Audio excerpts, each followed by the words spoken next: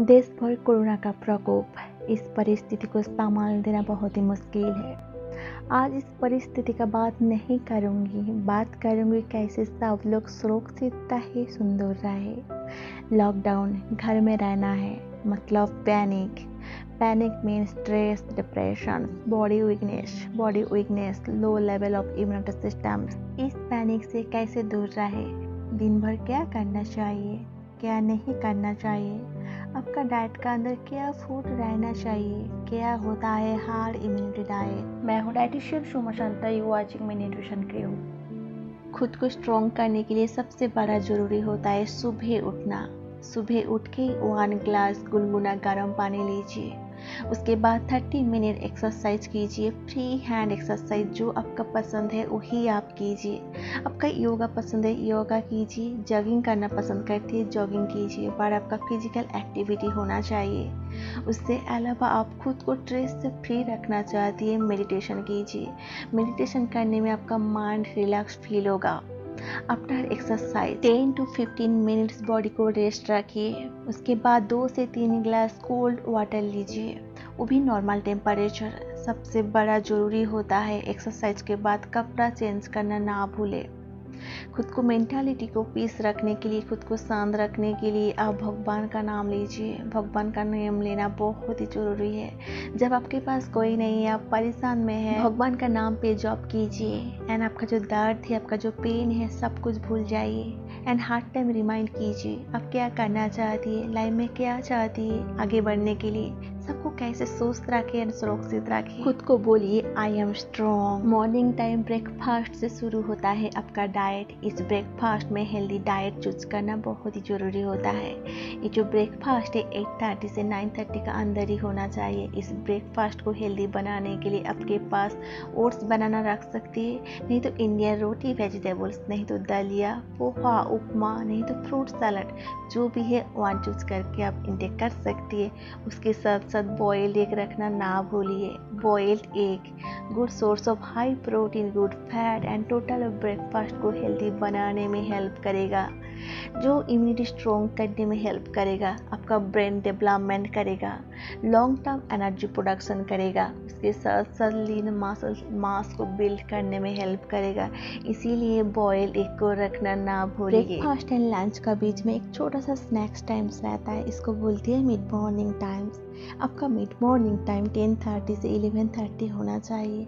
इस mid morning को fill up करने के लिए coconut water coconut water natural sports drink बोला जाता है, क्योंकि low in calorie good source of potassium calcium and magnesium antioxidant properties body को हाइड्रेट रखने में हेल्प करेगा ऑक्सीडेटिव स्ट्रेस से दूर रखेगा। फ्री रेडिकल से दूर रखेगा इम्यूनिटी सिस्टम को ठीक रखेगा and good source of amino acid so आपका डाइट का अंदर कोकोनट वाटर ऐड कर दीजिए। लंच टाइम आपका लंच टाइम 12 से 1 बजे का अंदर होना चाहिए। इस लंच में इंडियन जो डाइट होता है राइस एंड रोटी 50 ग्राम्स आप राइस लेती है राइस लीजिए रोटी लेती है रोटी लीजिए।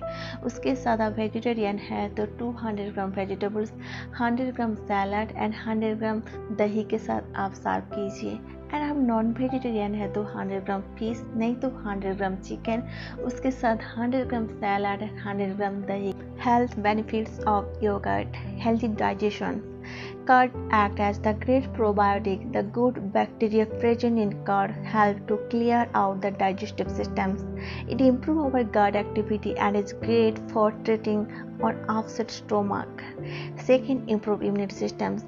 Good source of bacteria जो आपको हेल्प करेगा boosting immunity systems and overall health के लिए बहुत ही अच्छा रहता है and good strong immunity against day by day airborne diseases third होता है stronger bone and teeth resource of calcium and phosphorus जो आपको हेल्प करता है development strong bones and teeth जो फोर्थ होता है help to lose weight fifth जो होता है हेल्दी एंड रेडियंट स्किन के लिए।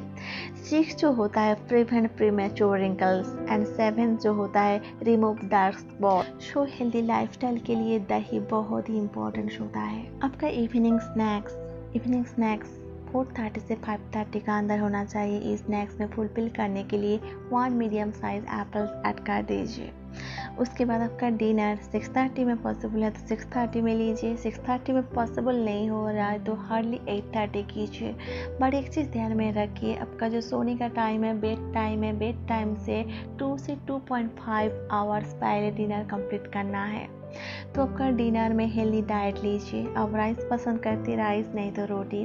उसके साथ साथ हेल्दी प्रोटीन मीन्स आप दाल प्रोडक्ट यूज़ कर सकती है मीन्स पाल्सिस प्रोडक्ट आप मिक्स दाल बना के ले सकती है सोयाबीन का करी बना के ले सकती है एंड जो पनीर होता है पनीर ले सकती है।